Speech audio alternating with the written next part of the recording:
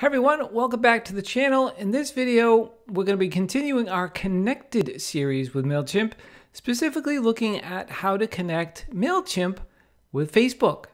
Stay tuned, it's coming up next.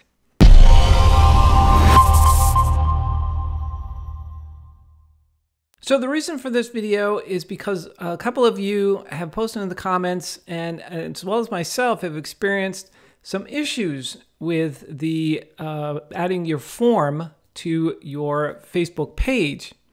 And we're going to walk through that and I'm going to show you the steps that I do and also show you the error that I'm receiving and maybe a couple of workarounds that you can do in the meantime until they sort it out with the new Facebook look. I'm sure that's probably the cause.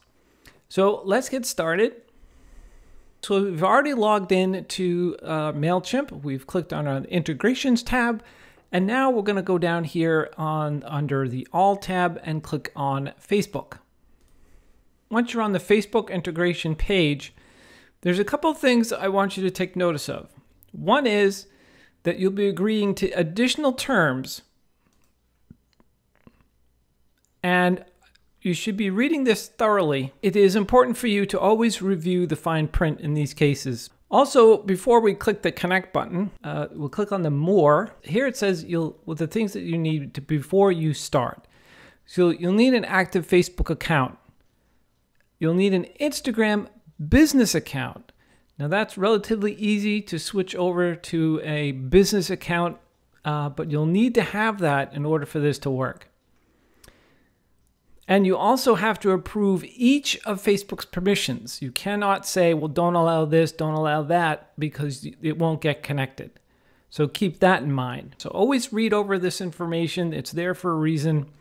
All right, so now click on Get Connected here. So let's click Connect. Now, immediately it's going to say review the info you provide. So we'll click on that. And right now it's just name and profile picture. Continue as me. All right, so here it is. MailChimp would like to manage your business, access profile, and posts from the Instagram account connected to your page, create a post in your Instagram account, access insights for the Instagram account connected to your page, access your page and app insights, read content posted on the page, manage accounts, settled. You can read all that information. Also, make sure you again read the privacy policy down here. All right, so read this information, read the privacy policy, read the terms. And then uh, don't just blindly click OK, because if you have more than one page, you'll be connecting MailChimp to all those pages, and you might not necessarily want that. So I, I select choose what you allow, because I have other pages here that I'm technically an admin, but I don't really manage. So I do not want it on that. I do not want it on that. I do not want it on that. And you cannot go forward without turning this on and turning that on and, and at least one page. Okay, then click OK. Okay, it says we're now connected, I think. Yes, it says test connection, uh, connected as Larry Snow, and then it'll allow you to select the page. Now, even though I said you do not have access to those other pages, it still lists all the pages here that I can still connect to. So keep that in mind. And we're going to use the Strategic Marketing Solutions one. And it says no audience connected, so we'll select our one audience that we have. Now it says, do you want to use the sign up form tab? Now, if you're not using that feature, uh, that's fine, but this video is going to go through that step of connecting up your sign up form. And what theme do you want for your form when you connect it? So obviously we'll say use sign up form tab, say yes. Uh, I always keep it to my audience theme uh, which is the default, because if you use Facebook esque, it doesn't show up very well. And then you can change the tab label, something like uh, sign up today. And then we'll click save. And we're going to click on test connection. All right, we're good to go. It's connected to me on Facebook.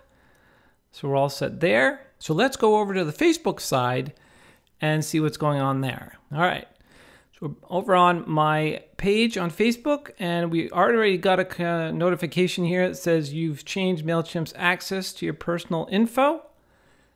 And so everything is good to go there. In the Manage Page section, I'm going to click on Settings. templates and tabs.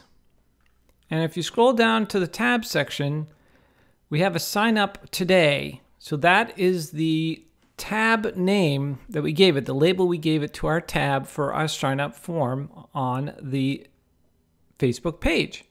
So there's nothing much else to do here, but this should give you the opportunity to change the location of where this tab shows up on your page.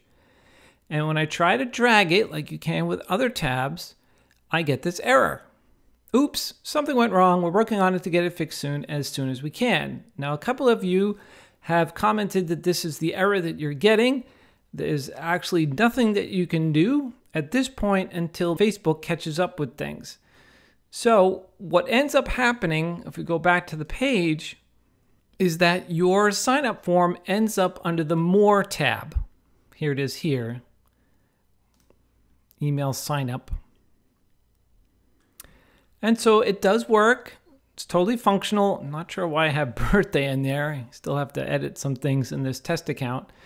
Uh, but everything works fine.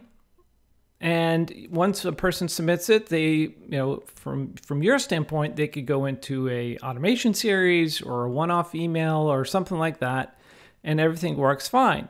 The problem is people don't know that this is here. They have to click on More tab in order to see it. So there's two things that you can do. One is you can grab the URL of your app your MailChimp app that's hosting this form, grab that URL, go to your home page, create a post, and then post in the URL. And rather than giving this Facebook.com stuff, just load up an image and then say, hey, everybody, you know, please join my list and you'll get a freebie or something like that so that people know that it's happening. And then you can share out that post and it'll go to that form on your page. So that's one way you could do it. The other way is discard that. The other way is to go over to your website and maybe you have the giveaway there. For instance, on my website here, I'm doing a giveaway for a free ebook, and I could certainly share that page onto my a Facebook page. So that's two ways that you can kind of get around this situation that's happening because you know I'd really like to have the email sign up tab, you know, even before events or that type of thing, uh, so that people can see it when they come visit my page. But if you share it out in a post or share it from your page, or maybe even a landing page, you can share it out to your Facebook page. So that's how you connect your MailChimp account to your Facebook page. That's how you put in your form. And with this connection, not only do you get the form, but you also get the opportunity to run Facebook ads through MailChimp. Thanks so much for watching. I really appreciate it. And I'll see you in the next video.